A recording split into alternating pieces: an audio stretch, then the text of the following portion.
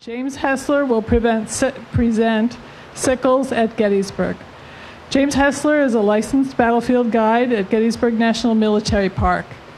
His book, Sickles at Gettysburg, the controversial Civil War general who committed murder, abandoned Little Round Top, and declared himself the hero of Gettysburg. This book received the Bachelder Coddington Literary Award and the Gettysburg Roundtable's Distinguished Book Award. He's a frequent speaker at Civil War roundtables and Gettysburg Foundation programs. He has been a contributor to Gettysburg Magazine, Gettysburg Daily, and America's Civil War. He's been a guest on National Public Radio, Pennsylvania Cable Network TV, and Civil War Radio, and has taught Gettysburg related courses for Harrisburg Area Community College. Please welcome Mr. James Hessler.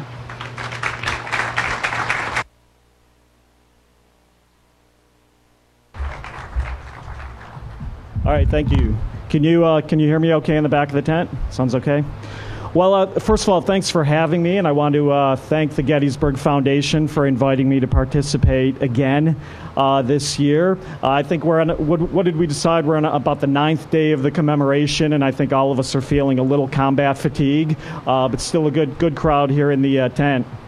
You know, some of you and some of you have heard me give this speech many, many times, right, Mickey? But, um, you know, some of you have heard me talk about this before, but, you know, I take a lot of grief in Civil War circles for being the Sickles guy. Uh, some of the grief that I take is, is good natured. Um, does anybody know, know the name of General Sickles' father?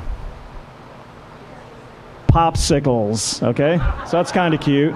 That's kind of cute. If I, uh, if if if I never if I never heard if I ne- if some if I never heard Jim Sickles didn't have a leg to stand on ever again, I would I would die happy and some of it's and some of it's not so good natured. I can think of at least uh, three times in my career that I have been berated by drunken men in bars, uh, having an angry anti-sickles rage. Um, and then there's all one of my favorite stories is the time that my wife was uh, accosted by a reenactor at a barbecue. She was in line to get her potato salad, and this guy found out she was married to the Sickles guy and uh, proceeded to just berate her for uh, uh, the entire length of stay over how Sickles was a murderer and, and stuff like that. Uh, so, you know, Sickles is the kind of guy we love to hate him. And let me, let me get a little show of hands here. Uh, for those of you who are familiar with General Sickles, familiar with the story, how many of you would say that you have a, a negative impression of General Sickles? Even my new boss raised his hand. Uh oh, I'm in trouble.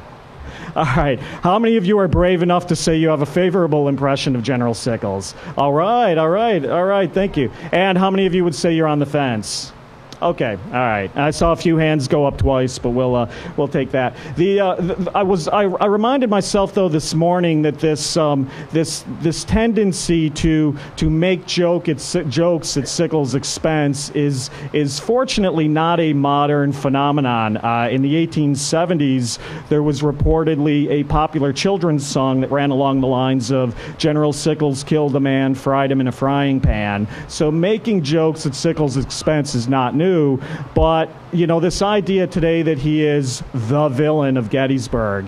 And over the past, you know, two weeks or so of Sacred Trust lectures, you have attended everything from, you know, uh, uh, ex military guys talking about military doctrine to uh, guys making references to Greek and classic literature. But I think, I think the, the best, the best way that we can perpetuate history is to tell good stories. And every good story needs a villain. And at Gettysburg, Dan Sickles gives you that but he's also a hugely important guy. And love him or hate him, he has what I think is one of the most profound impacts on this battlefield. Not only is he hugely influential during the battle itself, but he gives us some of Gettysburg's most colorful post battle history. And last but not least, as Sue alluded to uh, in some of her uh, uh, pictures in her last presentation, Sickles is a hugely driving force, not only in the early development of Gettysburg National Military Park, but also a frequent attendee at battlefield uh, veterans reunions right up until he died. Uh, the 150th anniversary that we are just sort of concluding our commemoration of was actually the 100th anniversary of Sickles' last visit to Gettysburg. He was a star attraction at the 50th uh, anniversary in 1913. So Sickles is a really important guy, and he's a fun and a colorful guy. And I guarantee that I am going to mention adultery and prostitution in today's speech more than all of the other sacred trust talks combined. Okay? Nothing, this is not a G rated presentation. All right, so uh, in the interest of time, I'm going to have to go through Sickles' colorful and entertaining early years fairly quickly. Uh, we think Sickles was probably born in 1819, which would have made him plus or minus 44 years old at the uh, Battle of Gettysburg, when, of course, he commanded the Union Army's Third Corps. Uh, again, you know, prior to the Civil War, he had risen through the ranks of New York's Tammany Hall politics. Uh, he was an attorney, uh, a rising political star in New York City. Plenty of early stories associated with Sickles about embezzlement of funds, stealing money from the post office, and of course, some of the better known stories. He was uh, romantically involved with a high end prostitute in New York City by the name of Fanny White, and he both, at the early times in his career, he both enraged his colleagues in the New York Assembly by bringing her onto the Senate floor, and later, when he was uh, positioned in England, serving under James Buchanan, Sickles also created a minor diplomatic uproar by allegedly introducing this hooker to Queen Victoria. So there, I've said prost- Jerry, what I've said prostitute now at least three times already, and we're only about we're only about seven minutes into it. Okay. But I think I think one of the one of the in all seriousness though one of the points that I want to make I think we are greatly in danger of sanitizing our Gettysburg history. This notion, you know, it started with Robert E. Lee and the so-called Marble Man that Lee was perfect and you know you couldn't you know had no character flaws. And I think what one unfortunate thing we're doing today is we're transferring that Marble Man mentality down to a lot of the generals. God help the man, for example, today who would criticize General Meade or really almost any of the Union generals on the battlefield. And I think what is important is we want to remember that these are real guys. These people are really relatable. And if you can make a guy like Sickles relatable, you know, that, that to me makes the story more interesting. So I would call sort of call Sickles the anti marble man. And I think he's got a couple of key features that we can all relate to during the course of his life. He has chronic woman problems, uh, he has chronic financial problems. And no offense, Paul, but he was also a guy who frequently was in trouble for hating his boss, right? And those are at least those are at least at least two of those three things we can all we can all often relate to. So, anyways, what you're looking at here on the slide is you're looking at uh, one of the rare pre-war uh, images of Citizen Dan Sickles, um, and again, probably taken sometime in the 1850s when he was a politician uh, in New York politics. Now, the woman next to him, the smiling young woman next to him is a family friend by the name of Teresa Bagioli. Now, Teresa was um, about 16 years younger than Sickles, so one of his common character traits is that he seems to like really younger women. Uh, but Sickles had married this family friend, Teresa, uh, in about 1852 when he was 33 years old and she was 16 years old. Now, at the time, again, he was busy in Tammany Hall politics. She, at the time, was a uh, Catholic schoolgirl who was in a uh, uh, boarding school. Why why would a 33 year old uh, rising politician marry a 16 year old Catholic schoolgirl? Anyone? She was pregnant. He had knocked her up. He knocked her up. So, you know, say, say what you want about Sickles, but at least he did the right thing by marrying her and making an honest woman out of her, right? Okay, so those are sort of the early years. So now what happens is Sickles was a, uh, Sickles was a protege of future President James Buchanan, and Sickles served uh, on Buchanan's staff in 1853 54 while uh, Buchanan was on diplomatic assignment in England. But things start to really get interesting in 1856 when Sickles is elected to Congress, again from the good state of New York, at about the same time that his mentor, Buchanan, is moved into the White House. Okay, so many of you know the, what, what we think are the basics of the story. While in Washington, Sickles, a well known womanizer and, and to his credit, an ambitious hard worker, Sickles is frequently away. He probably isn't giving his young wife, Teresa, as much attention as she deserves. So during the course of his tenure in Washington, Sickles becomes romantic, I'm sorry, Teresa Sickles becomes romantically involved with a district attorney in Washington by the name of Philip Barton Key. Now, many of you may know Philip Barton Key was the the son of Francis Scott Key, author of our uh, Star Spangled Banner. But, anyways, Teresa Sickles and Key, and Key and Sickles were also friends, I should point that out. But Teresa and Key start having this romantic uh, liaison while they are while they are in Washington. Now, one day in February 1859, after receiving a few warnings, Congressman Sickles finally confirms, in fact, that his wife uh, is sleeping with his friend Key. And one day in February of 59, on the streets of Washington, right behind the White House. Sickles comes out of his house, and there's a quick confrontation with Key on the streets of Washington, and Congressman Sickles shoots Key dead repeatedly, several times. Now, Key, unfortunately, as many people know the story, was in fact unarmed. The only thing that he had to defend himself with was an opera glass. So you would think the idea of a rich, powerful congressman shooting an equally rich, powerful district attorney on the streets of Washington would have made for pretty scandalous headlines, and it did. Sickles basically turns himself in and in what has often been termed the trial of the 19th century. Sickles assembles this legal dream team. Okay, now the, I know the great Ed Bearss spoke up here, I think, on Friday. Uh, I know referring to Sickles as the O.J. Simpson of Gettysburg is one of Ed's gim- favorite gimmicks. I often do that myself, but I'm doing Ed one better. I actually have historic then and now photography here to, uh, to, to, to, demonstrate what this would have looked like. So, what you're looking at on the one side of the screen is a, uh, a contemporary wood carving that was published in the newspapers of the time time of Sickles rotting in jail, pleading his case, overcome with emotion, wondering what was going to happen to his career. And, well, you know who the other guy is, so we don't have to go into that. But the comparison is, is that Sickles assembles this legal dream team, and it's a highly sensationalized, highly publicized murder trial. It's got everything sex, adultery, politics. Again, Sickles was a great friend of President Buchanan, and, of course, celebrity murder, which is always a crowd pleaser. And it sold great, great volumes of newspapers all over the country. In some markets like San Francisco, the murder trial was actually censured for obscenity. Uh, for obscenity. Did I say obscenity? Obscenity. But what Sickles' dream legal team does. And the team is best remembered today for the presence of future Secretary of War Edwin Stanton. But for you hardcore Civil War guys, Stanton is not the lead on the team. And Stanton doesn't ultimately come up with what is the novel defense of temporary insanity. And what they what Sickles' lawyers basically present before the judge and the jury was that the idea of Sickles catching more or less catching his wife in the act of having an affair with another man was so emotionally alarming that at least Sickles' mind temporarily became diseased. That was the phrase they used, his mind became diseased. The judge allowed them to present that to the jury, and while public opinion was resoundingly in Sickles' favor throughout the trial, anyways. It was this novel defense that seemingly got Sickles off. Now, it's what the trial is remembered for the first successful use of temporary insanity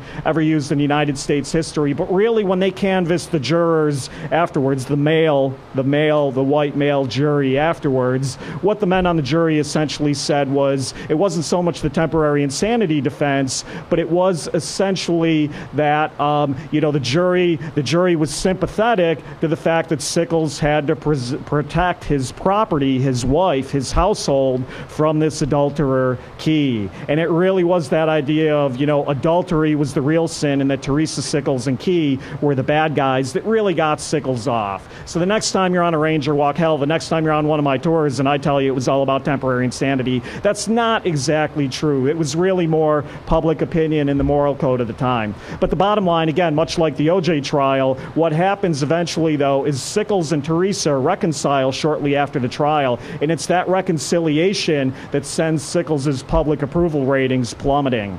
So, Yeah, you like that, huh? That's that that was the real crime, not shooting the guy, but the real crime was reconciling with your your dirty scarlet wife. That was the real crime at the time so that as as we moved into the months and years after the trial, Sickles' public approval what would have been the equivalent of public approval ratings were at an all-time low because of that. So the bottom line is when the civil the American Civil War begins in the spring of 1861, Sickles had not run for Congress again, he had not run run for reelection, and he needed a new career. And that's going to bring us up into the Civil War. Now, what you are looking at on this page is you're looking at what is actually a fairly, you know, these images of sickles and military uniforms standing on two legs, not one, but two legs. These sorts of images are actually fairly rare. So, this is a circa 1861 uh, image of what at that time would have been a young Brigadier General Dan Sickles. But at the beginning of the Civil War, Sickles needs a new career, and he sees an opportunity to raise troops in New York City, what is going to become known as the Excelsior Brigade that fights with him uh, out here at Gettysburg. Sickles raises troops. Now, he doesn't pay for the troops. He kind of dives out the back window and stiffs one of his friends with the recruiting bill. But Sickles is the guy who kind of parades the troops in front of Washington as being my guys. Uh, a, a new president, who some of you may have heard of by the name of Abraham Lincoln, President Lincoln needs support for this new unpopular war effort of his. So even though Sickles is at that point a disgraced Democrat,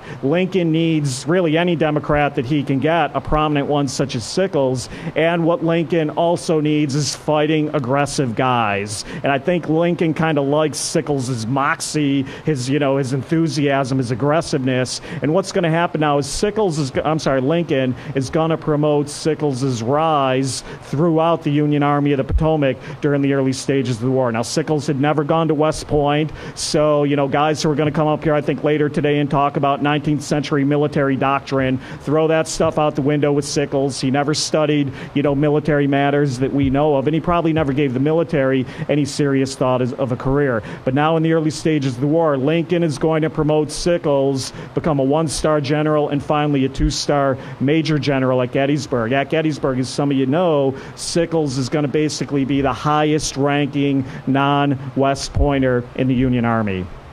So again, getting back to the slide here, we have Sickles on the page with uh, two of his early supporters. Now, you all probably know who the uh, guy, and well, as I'm looking at it, it's the top left corner of the page. Uh, that is Union General Joe Hooker, fighting Joe Hooker. And down at the bottom of the page, uh, the gentleman with sort of the receding hairline and the mustache, that is another New York general by the name of Dan Butterfield. Sickles, Hooker, and Butterfield in the months leading up to the Gettysburg Gettysburg campaign are going to become great friends and are really going to sort of set the stage for, if nothing else, for the social calendar of the Army of the Potomac leading into Gettysburg. Okay, now probably many of us know, you know, Hooker, right or wrong, deserved or not, Hooker has a reputation as a hard drinker and a womanizer. Although it's not true that the term hooker comes today from General Joe Hooker, uh, well, that's not true. It is true that General Hooker probably did enjoy using their service services at various times during his life. And so, you know, I often term Sickles in, in, in the modern terminology, in the modern terminology, I think Sickles is probably a pretty good ass kisser, if I can use that word. I just did. I can use that word.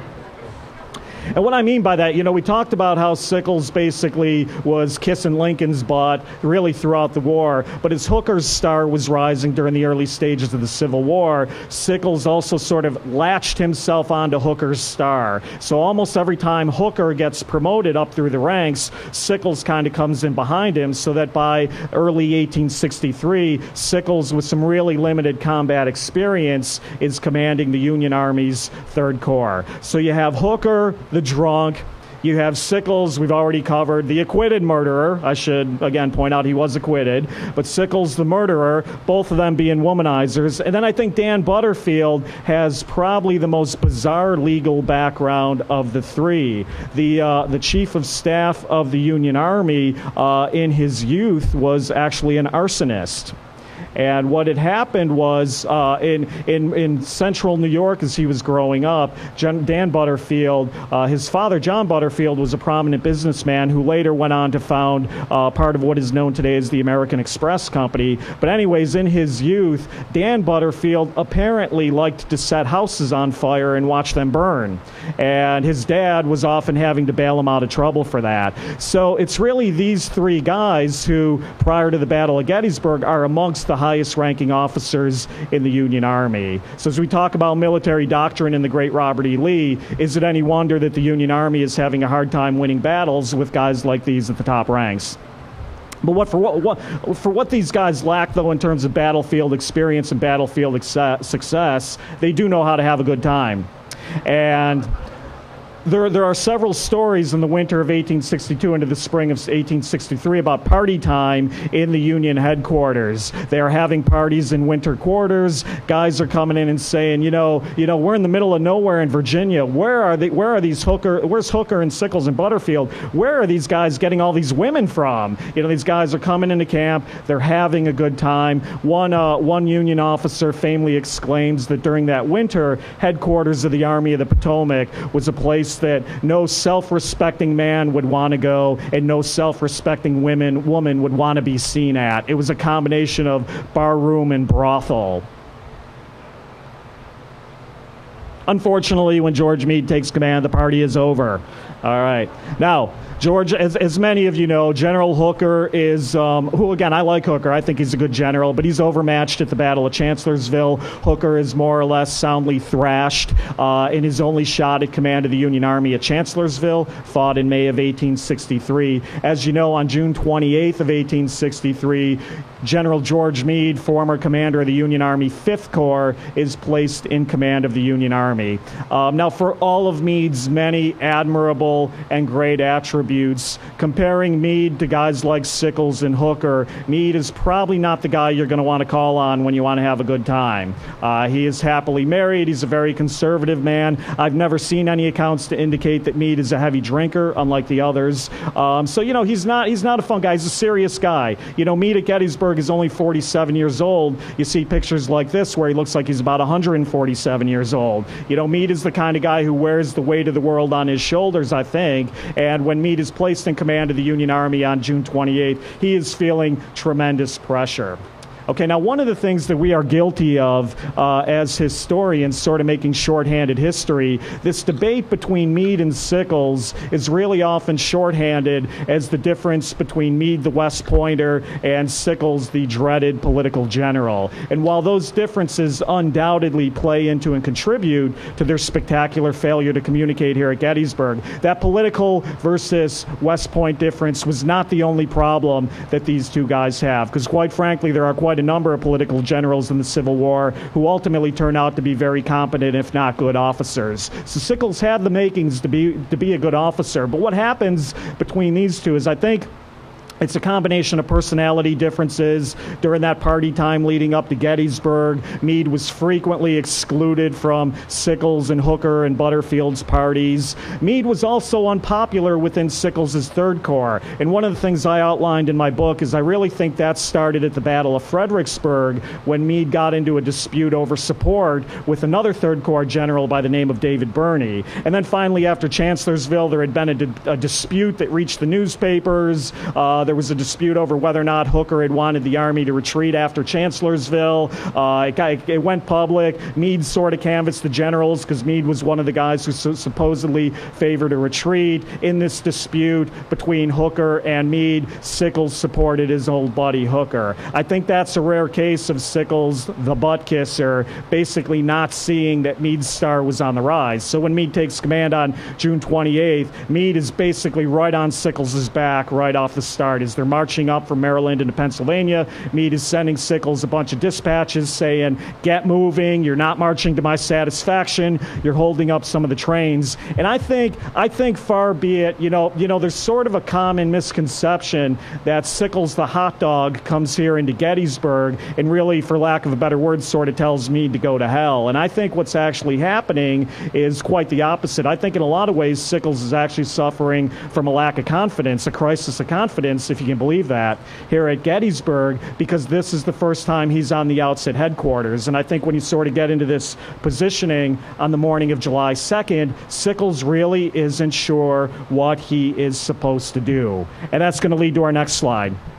Okay, now, over the past nine days, I can't tell you how many times I've received emails and text messages from friends saying, Get down to the battlefield. They're trashing Sickles on the battle walks. Get over to the tent. The guy on stage is trashing Sickles in the Sacred Trust. Look, everybody's got an opinion. Um, you know, obviously, what happens on the morning of July 2nd is, if nothing else, a spectacular failure to communicate. You know, as you can see on the map there, what essentially happens is Sickles and his 11,000 man Third Corps, they are supposed to occupy the left flank of the Union Army, which in theory would have stretched them out to Little Round Top. And I'm going to go into Sickles and Meade's orders and communications in a few moments. But, you know, to kind of set the table here, what happens instead during the afternoon is Sickles, instead of occupying what would be an extension of the straight line fishhook on Cemetery Ridge, and keep in mind, what is clear to us as a fishhook today was not as necessarily clear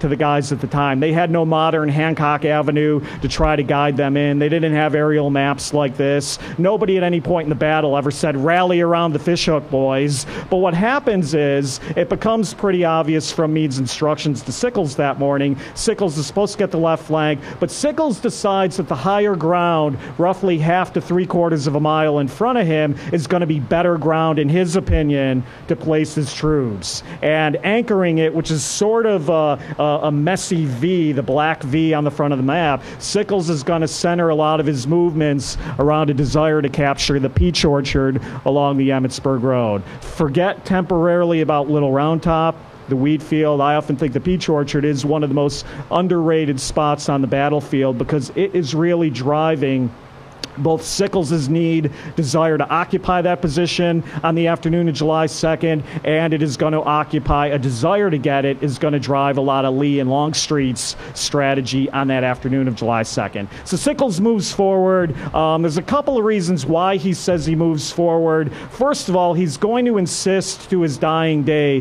that he was somewhat confused by General Meade's orders. Now, I know a lot of guys and ladies out there who are saying that's ridiculous. General General Meade's orders were very clear, very clear cut. There was no way Sickles could have got confused about them. So I'm going to address that in a moment. But he says he's confused about Meade's orders. He also claims that he dislikes what many of us know as the low ground today, just north of Little Round Top. And there is some merit in that argument. That area north of Little Round Top is very low ground, not good positions for artillery. You don't have good sight lines if the enemy's going to come up and attack you. So I think he's got some merit in that argument. Sickles is also going to compl- com- complain that he's going to claim that he basically lacks the manpower to cover the entire line that Meade wanted him to occupy. And that's certainly one area where Sickles' lo- argument and reasoning falls apart because in moving forward, if you sort of see the shaded extension of the fishhook on my map, and then you go to that long extended V in front of it, unfortunately, by moving forward, the line Sickles goes into is really going to be twice as long as the one Meade wanted him to be into. So that's definitely one part of the Sickles doctrine that, that doesn't really hold up to much scrutiny. But last but not least, now in the 50 year spin campaign that will begin shortly after the Battle of Gettysburg and go for the remainder of his life, Sickles is going to add another thought, another reason. And his reasoning is going to be he's going to claim that he later advanced to prevent General Meade from retreating at Gettysburg. As the story goes, Sickles is going to claim that the afternoon of July 2nd, Meade wanted to retreat from Gettysburg, perhaps still fall back on his Pipe Creek line, and that one of the benefits Sickles gave the Union Army by moving forward is that Sickles basically brought on the attack. He brought on the battle, and as Sickles used to like to say, I grabbed Longstreet by the throat and I held him down until reinforcements could come. And so, therefore, if you have the guy who brought on the battle that the Union Army won, in Sickles' twisted reasoning, who deserves credit for winning the Battle of Gettysburg? Meade, the guy who supposedly wanted to retreat, or Sickles, the guy who brought on the fight? It's a no brainer, right? Sickles. And that's the hero of Gettysburg in the title of my book, which, yes, is meant to be somewhat ironic. Okay, Now let's get to the part about the orders, and this is this is a part where I tend to side with Sickles a little bit more than the haters do. Um, you know, because again, your standard dogma is that Sickles, the twisted, perverted monster, somehow somehow just ignored direct written orders from the saintly conservative General Meade. And if only Sickles had listened to Meade, the second day of Gettysburg would have gone so much better. That's basically the traditional uh, argument that you will get from 98 percent of the programs that you see here at Gettysburg National Military Park. But what you see on this page, and I'm going to linger on it for a minute to give you a chance to look at it, the three bullet points on this page are basically how George Meade described his orders. I'm too frequently accused of relying on what General Sickles said, and Sickles' sort of biased recollections of what happened. This is how General Meade described his orders, and primarily before the Congressional Committee on the Conduct of the War that began uh, Uh, in the, spur, the Gettysburg portion of which began in the spring of 1864. So General Meade said, and I'm not going to read it all verbatim, but General Meade started by saying, I sent instructions not direct orders, instructions, Chuck. On the morning to General Sickles, directing him to form his corps in line of battle on the left of Hancock's Second Corps, and I had indicated to him that his right was to rest on General Hancock's left, and his left was to extend to Round Top Mountain which all seems like it makes good sense and is very straightforward right there. Plainly visible. There's no way you could not see Round Top Mountain. But Meade, Meade in his description of these orders then added, if it was practicable to occupy it. And I think this is where you sort of open up a little interpretation. Those two words, two or three words that are at the heart of every Civil War controversy, if practicable. Okay, and of course, the best known example of that is General Ewell's failure to take Cemetery Hill on the night of July 1st. Well, you people don't all hate General Ewell for failing to do that because people realize today that the if practicable potentially, in Ewell's mind, offered up some room for interpretation. So, again, that is Meade's description of it. I have heard rangers here at the park say there was no if practicable in General Meade's orders. That is a direct quote from General Meade. Now, the second bullet point.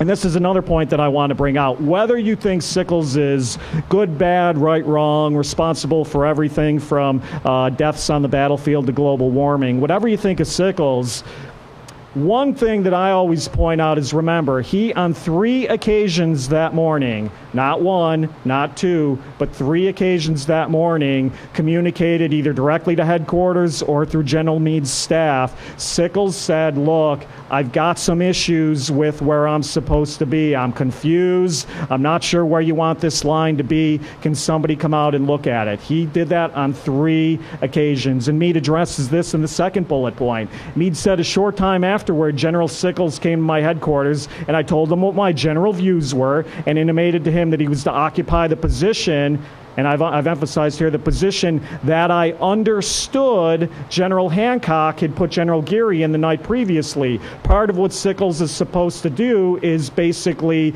replace the 12th Corps up around the round tops, but problem being, in Meade's own words, Meade is implying that he has not actually seen that position. So that could be, again, another where area that's going to open up a little room for confusion. And last but not least, Sickles asked me whether he was authorized to post his corps in such a manner as his judgment he should deem suitable. I told him, certainly within the limits of the general instructions that I have given you, any ground within those limits you choose to occupy, I leave to you. So here's the point. Here's the point, because I know we're already running short on time.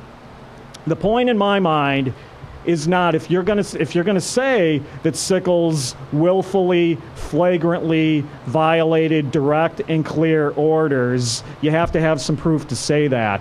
What I think, what I think the chain of re- uh, evidence and the record more clearly suggests is I think Sickles is more guilty of bad judgment than willful violation of orders. I think with what you have here, Sickles kind of said, "Look, I don't like the position. I'm confused about the position. I've, I've asked headquarters to come out and look at it." Couple of times. I'm going to now exercise that sort of general discretion to do what I think is a better position. So, again, what I think is really happening there is less of, as I often hear people say at the park, it's less of Sickles just flagrantly telling me to go to hell. It's really, though, more of Sickles' lack of training coming out with some spectacularly bad judgment.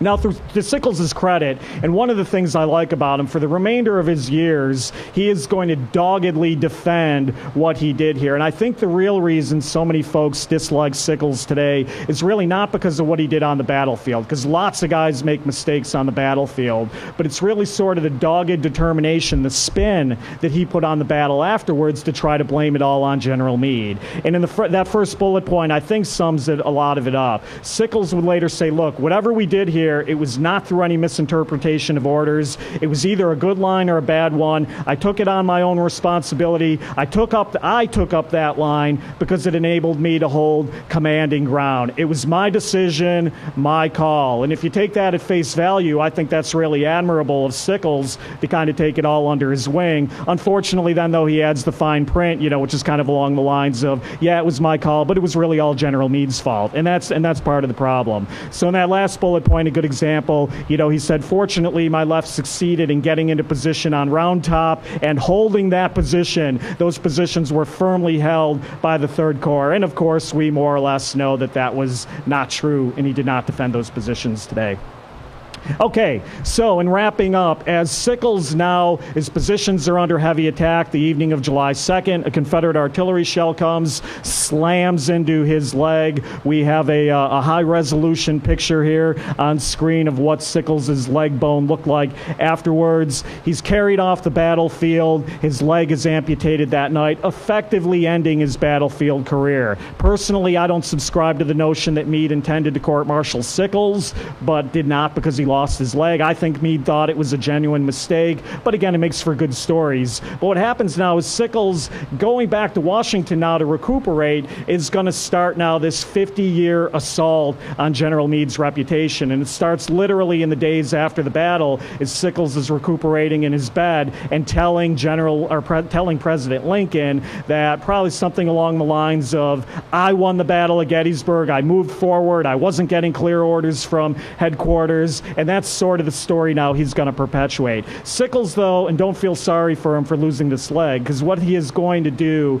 is he's now going to use the fact that he only has one leg uh, to really reinvent himself as a war hero. And again, the, some of the some of the reunions and pictures Sue alluded to in her presentation, what you frequently see when you talk about these monument dedications and these speeches, what you frequently see is Sickles coming back here and saying, don't mind me. I can't stand up today because I lost a leg for you, you know, and stuff like that. You know, you know, I'm hey, I'm the guy up here with one leg. You literally see him pointing that stuff out, and the veterans love it. They're cheering him. He's a popular public speaker. He's always coming back again and again, and the veterans kind of love that stuff. And I've got a um, I've got a quote on screen which I think is very uh, appropriate for how Sickles viewed all this. Uh, the quote is from Mark Twain. Mark Twain got to know Sickles late in life, and Twain has a great quote in his memoirs that basically basically says Sickles valued the leg he's lost much more than the one he's got. And if he has to part with one, I'm sure he would still lose the one that he still has. That's Mark Twain on Sickles, who uh, could write it much better than I would. And I think that kind of sums it up to using that missing leg to great political and professional advantage. Um, now, now, what I do in a lot of my Sickles studies, and a good portion of my book was spent um, regarding his role in the 1880s through the end of his life in the development of the early development of Gettysburg National Military Park. Whether you know it or not, you have been commemorating the 150th anniversary in the house that Dan Sickles built. Okay, Sickles was the congressman in 1895 who introduced the legislation that ultimately created Gettysburg National Military Park. Now, throughout the 80s into the 90s, uh, he was chairman of the New York Monuments Commission, frequent visitor back here, again, giving dedication speeches, uh, uh, appropriating funds for monuments. I was just talking to a friend the other night who was talking about uh, the creation of General Greene's monument on Culp's Hill, and this guy was reading about about it. He said, I had no idea Sickles played such a big part in getting the money for that monument. I'm like, yeah, that's what he did. Sickles was into this stuff. Now, you wouldn't want to trust Sickles with the money if you could give the money to somebody else, but he was a good guy to give speeches and to make sure that the work got done. And of course, during those speeches, again, favorite pet topic, you know, Meade screwed it all up at Gettysburg, sort of thing. But this next slide is, um, a, and I think Sue might have had this one before. I can't remember, but anyways, this is a picture taken at the uh, in 1888 during a, a, reunion on the battlefield. And the two figures in the center of the photo, you can see a, uh, a pudgy middle-aged Sickles, and if you look really closely, you can see that missing right leg. And the guy with the big white mutton chops next to him is his opponent, General Longstreet. Well, Sickles and Longstreet became great friends in the post-war years, thoroughly appropriate because because in a lot of corners, both of their war records were under attack. So it was very easy for the two of them to sort of mutually defend each other and defend each other's records. Longstreet, to his dying day, insisted that Sickles' move forward had helped and not hurt the Union cause. And I see, I have a quote, an actual quote from Longstreet on the page. I believe it is now conceded that the advanced position at the Peach Orchard, taken by your corps and under your orders, saved that battlefield to the The union cause. Okay. I usually pause there because usually someone groans, okay? But I can't hear I can't hear groans with all these fans going off. But that is Longstreet, 1902, and he basically went to his grave saying, "Yeah, Sickles was the man, okay? And there's a lot of great stories, drinking stories uh, of the two of them. One of my favorite stories is they were in Atlanta in the 1890s celebrating St. Patrick's Day together. So you can imagine these two elderly war heroes getting hammered uh, in Atlanta. And, go, and, and at the end of the night, they're going back to their hotel and Sickles says something to the effect of Longstreet, you know, one of these days you're going to have to apologize for shooting off one of my legs. And Longstreet said, Apologize, you ought to thank me for still giving you one good leg to stand on. So these guys had slugged it out on the battlefield, but they became friends, uh, supporting each other for the remainder of their lives. Okay, now, is the whole damn battlefield his monument? Well, as again, many of you know the story, Sickles was a problem child till the end of his days. Uh, well into the early 1900s, he held this position with the New York Monuments Commission, and over the course of these years, New York, especially along with Pennsylvania and some of the other larger states, really were uh, prominent in placing a lot of monuments on the battlefield. Now, he was also in trouble in the newspapers uh, right up till about the 50th anniversary of the battle. There was a whole messy uh, public scandal that I don't don't really have time to go into in great detail, but it involves Sickles getting married for a second time, abandoning his wife uh, in Europe, coming back here. Um, and then in, in 1913, the wife tried to come over to the States to try to attempt a reconciliation at the same time that New York State did an audit of the Monument Commission's books, and they found $28,000 unaccounted for that Chairman Sickles did not have a receipt for. So, very messy, again, played out in all the public newspapers. And what ultimately happened, there was talk about putting the 90 something war hero, General Sickles, in jail. And they had to, with some last minute legal maneuvering, they had to, he, he basically avoided jail time, but he was embarrassingly deposed as chairman of the, uh, of the Monuments Commission. So what you're looking here is basically his last visit to the battlefield, again, 100 years ago this week in July of 1913. And again, a common theme when you read those 50th anniversary accounts counts. Did the veterans hate him like we do? No. Did the men who fought under him hate him like we do? No. He was a celebrity. He was a hero, probably an eccentric hero to some of them, but a hero nonetheless. And this is a great picture of all the men sort of cheering him as they've um, propped him up center stage here. So it's it's believed to be at this last uh, reunion of his, this last meeting. It's believed to be, whoops, having a little technical difficulties. There we go. It's believed to be that he reportedly was going out over the battlefield one last time. Sickles is only one, one of only two Union Army Corps commanders who does not have a monument here at Gettysburg. But it was believed that somebody said to him during this last visit, Hey, Sickles, how do you feel about not having a monument on the field? And he reportedly said, The whole damn battlefield is my monument, so don't worry about it. Um, like a lot of the Sickles story, I think the oral history history, although is often more interesting, is a little suspect when you get into the sources. But if Sickles didn't say it, he should have. That was an appropriate thing for him. So if the whole damn battlefield, though, wasn't his monument, he definitely has his share of it. You know, as I touched on before, he establishes Gettysburg National Military Park in 1895. Uh, he, he was part of what was called the Sickles Map, which created the boundaries that were in effect until 1974. Again, I won't read into all of them, but under his leadership, New York placed 88 monuments on the battlefield, state monument in the National Cemetery, monuments to several New York generals, and a lot of our famous landmarks, Devil's Den, the wheat field, and the peach orchard, might not even be here today if he had not moved forward. So whether his move was right or wrong for the Union cause, it definitely established the flow of battle that we know today as the second day at Gettysburg. Hell, even the uh, the fence separating the, the local national the national cemetery from the local Evergreen Cemetery is supposed to be the same one that stood in Lafayette Square in Washington in 1895 when he killed Philip Barton Key. Okay, so.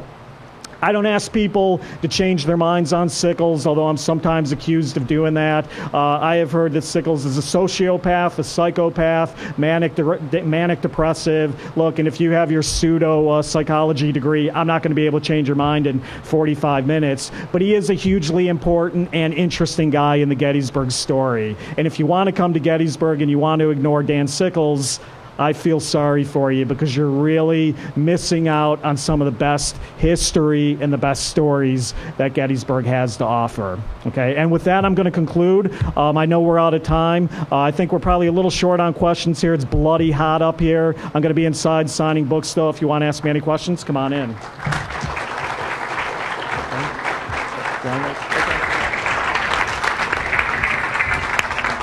And check that. I guess we have time for at least one question. Real quick. Yes, um, I know that they say Historicus and, and Sickles are the same person, but why do people say that? I mean, I'm just curious as to, you know, it's sort of accepted, but I'm Yeah. curious as to why. So the, the question is about Historicus, and what had happened was in the spring of 1864, while Sickles and Meade were sort of ba- battling it out before the Congressional Committee on the Conduct of the War, this anonymous newspaper account penned by somebody named Historicus mysteriously showed up in the newspapers, which basically sort of supported General Sickles' position and attacked General Meade. Why do people say Historicus was General Sickles? Because I think, if nothing else, if you sort of compare Historicus to Sickles' prior testimony before the Congressional Committee on the Conduct of the War, it's almost point by point the same argument.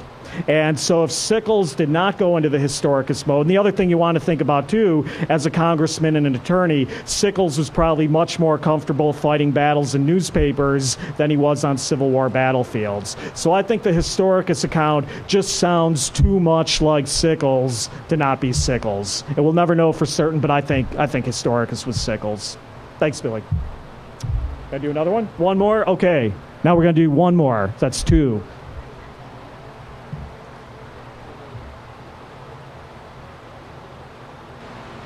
Mentioned that uh, Sickles did not attend West Point, but is it fair to say that he was very courageous on the battlefield? I think so. My critics would disagree with me. I see one of them scowling out there in the audience. I think so. Yeah. I, I, you know what? I'm not even going to qualify that by saying I think so. Yeah, he was, and he proved that. He proved that. Um, he is not, again, love him or hate him, he is not one of the generals that you uh, hear about, you know, shirking behind the lines, you know, sipping from the, the whiskey wagons while the men are going into combat. He's out there. And again, remember, his men loved him. Men love fighting guys who are fighting under guys who are out there with him. Uh, so, yeah, you know, I'm not saying he has good judgment, but yeah, he's definitely courageous and he's aggressive too. And sometimes courage, aggression, and lack of training can be a, a lethal concoction. But yeah, absolutely a brave guy. I'll stand by that. We have one more or is that it? Okay, that's it. Oh, oh hand kind of going up. All right, we're done. I'll see you inside. Take care.